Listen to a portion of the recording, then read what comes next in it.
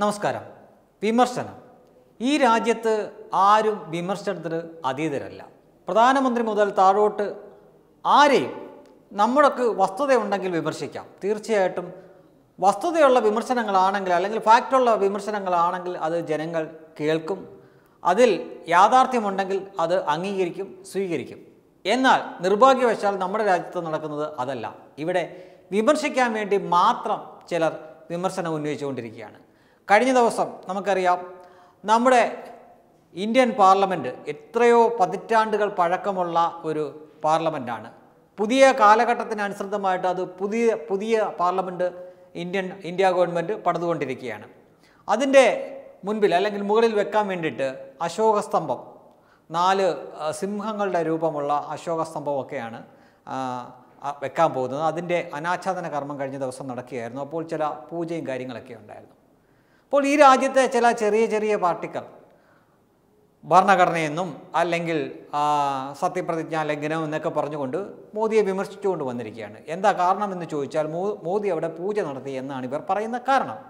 അപ്പോൾ പ്രത്യക്ഷത്തിൽ അവരുടെ ഈ വിമർശനത്തിന് കഴമ്പുണ്ടോ എന്ന് തോന്നുകയും ചെയ്യും. എന്നാൽ ചരിത്രം അറിയാത്തവരാണോ അല്ലെങ്കിൽ പഴയ കാലങ്ങൾ മറന്നവരാണോ എന്ന് തോന്നിപ്പോവും ചിലതൊക്കെ ഓർമ്മിപ്പിച്ചാൽ അപ്പോൾ മാത്രമേ അവർക്ക് ഓർമ്മ വരത്തുള്ളൂ. ഇത് പറയാൻ കാരണം നമ്മുടെ പ്രസിഡന്റായിട്ട് ഇരുന്ന ഒരാളുണ്ട്. ഗ്യാനി സെയിൽസിംഗ് എന്നാണ് അദ്ദേഹത്തിന്റെ പേര്. അതേപോലെ തന്നെ പത്ത് വർഷത്തോളം ഇന്ത്യ ഭരിച്ചിരുന്ന ഡോക്ടർ മൻമോഹൻ സിംഗ്. ഇവർ രണ്ടുപേരുടെയും തലയിൽ നമ്മൾ കാണുന്ന ആ തലപ്പാവ് അവർക്ക് വെയിൽ കൊള്ളാതിരിക്കാനോ അല്ലെങ്കിൽ മഴ കൊള്ളാതിരിക്കാനോ വേണ്ടി വെച്ചിരിക്കുന്നതല്ല. അത് നൂറ് ശതമാനവും മതപരമായിട്ടുള്ള അവരുടെ ആചാരപരമായിട്ടുള്ള ഒരു വേഷത്തിന്റെ ഭാഗമായിട്ട് തന്നെയാണ് ആ തലപ്പാവ് അവിടെ ഇരിക്കുന്നത്. ആ തലപ്പാവും വെച്ചുകൊണ്ട് തന്നെയാണ് തലപ്പാവും അതിന്റെ കൂടെ താടിയും.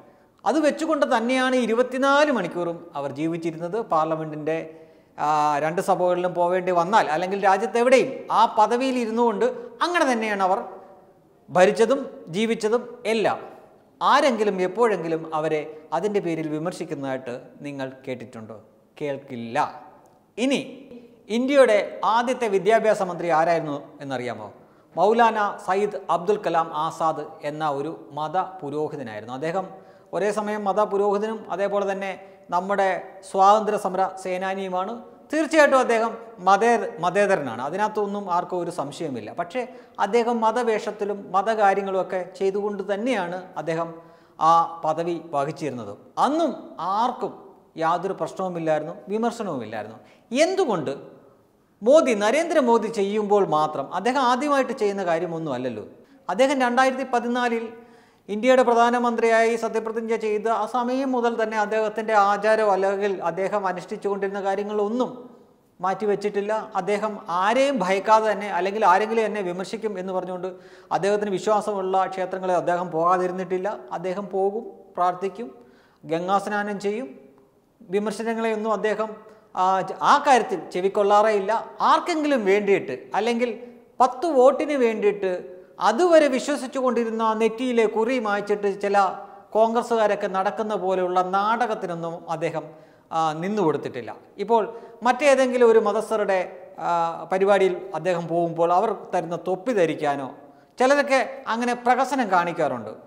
മറ്റേതെങ്കിലും മതവിശ്വാസിയായിട്ടായിരിക്കുന്നു ഇരിക്കുന്നത്. പക്ഷേ വേറെ ഏതെങ്കിലും ഒരു ചടങ്ങിൽ പോകുമ്പോൾ അവരുടെ വിശ്വാസത്തിനനുസൃതമായിട്ട് അവർ തരുന്ന തൊപ്പിയും എടുത്തു വെച്ചുകൊണ്ട് ഒരു ശതമാനം പോലും ഉള്ളിൽ അതിനോട് യോജി യോജിച്ചിട്ടായിരിക്കില്ല നിൽക്കുന്നത്. പക്ഷേ ആളുകളെ കാണിക്കാൻ വേണ്ടിയിട്ട് പ്രഹസനം കാണിച്ചുകൊണ്ട് നിൽക്കുന്നവരുണ്ട്.